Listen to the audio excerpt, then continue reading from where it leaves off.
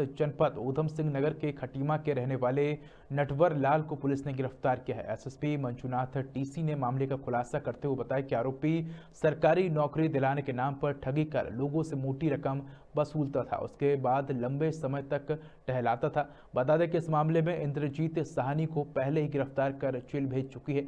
वह इस मामले का मास्टरमाइंड मनोज रावत उर्फ़ बॉबी रावत को पुलिस ने जाँच के बाद गिरफ़्तार कर न्यायालय में पेश किया है, जहाँ से कोर्ट ने ठगी आरोपी मनोज रावत को जेल भेज दिया है। आपको बता दें कि आरोपी ने एसटीएफ और पुलिस की जाँच को गुमराह करने का आरोप है। लोगों की शिकायतों से बचने के लिए पहले तो इसने शिकायतकर्ताओं के खिलाफ एक फर्जी मुकदमा दर्ज करवा दिया था। रुद्रपुर से मुकेश मंडल की रिपोर्ट।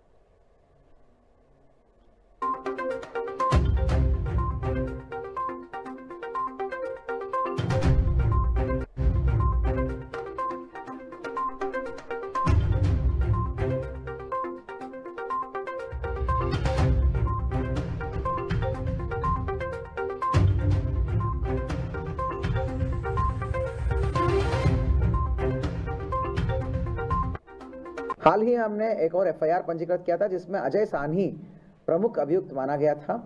इन्वेस्टिगेशन में ये जानकारी में आया कि केवल अजय सानी अकेला नहीं था तो उसकी एक और दूसरा साथी है, उसका नाम है, कई दस लोगों ने कुल मिला पैसा दिया था मनोज रावत को, कैश।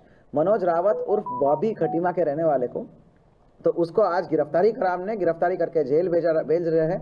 और उसकी ही कब्जे में तीन विभिन्न नियुक्ति प्रमाण पत्र अलग अलग डेटों का अलग अलग विभागों का प्राप्त हुआ है। उसके कब्जे में, उसकी निशानदेही में।